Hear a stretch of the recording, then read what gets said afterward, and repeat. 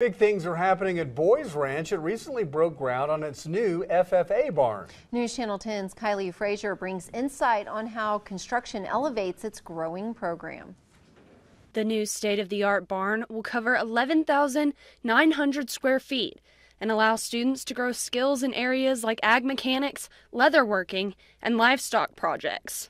The barn that we're currently in was built in 1967, so it's got some age on it. This one's going to actually have a classroom added to it, so we're going to have that capability of being able to teach kids while we're at the barn, as well as having a whole lot nicer, newer facilities and more of them to host kids.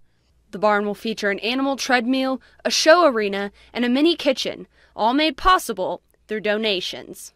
Uh, other school districts, you know, in the in the area, Highland Park or River Road or Bushland, those schools would probably have a bond issue. But for us, we depend on all those people who support Cal Farley's Boys Ranch.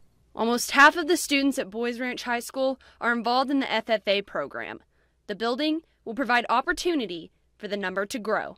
So we have a lot of different things that I think a lot of other schools maybe don't get to offer that we can find that niche that maybe a kid has an interest in.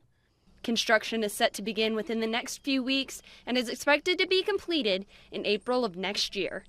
Kylie Frazier, News Channel 10. Amarillo College.